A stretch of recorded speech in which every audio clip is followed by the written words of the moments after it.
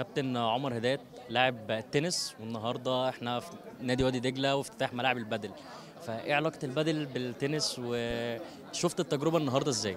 بص ال- النهارده فكرة لذيذة جدا جت من فرقة فريق التسويق بتاع وادي دجلة إن يجيب ابطال التنس وأبطال السكواش يلعبوا لأن البادل لعبة mix ما بين التنس والسكواش لأن فيها إزاز وفيها الشبكة زي التنس. فكانت فكرة لذيذة جدا. إحنا انبسطنا جدا واستمتعنا إن إحنا نلعب مع رنيم وكريم النهارده اثنين أبطال عالم.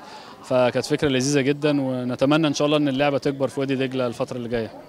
شايف لعبة البادل أقرب للتنس ولا السكواش وهل مهارات اللاعب كلاعب تنس أو أو سكواش هيبقى أفضل في في البادل ولا ولا إيه؟ آه، حتى الآن معظم اللي بيلعبوها دلوقتي في مصر أو بره أكترهم كانوا لعيبة تنس أو لعيبة ابتدت تلعب بادل على طول لأن هي أقرب للتنس يعني خطوطها بال- بال score بتاعها بالشبكة بالكلام ده كله قريبة أكتر للتنس وضرباتها شبه التنس شوية غير بس الإزاز دي اللي متاخدة شوية من السكواش بس أعتقد هتبقى الأفضلية دايما للعيبه التنس فيها.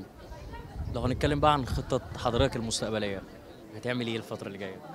آه، أنا هنا مدير فني أندية وادي دجلة للتنس وبرضه مدرب منتخب مصر للبنات آه، الشهر آخر الشهر إن شاء الله مسافرين آه، كأس العالم في تركيا تحت 16 سنة.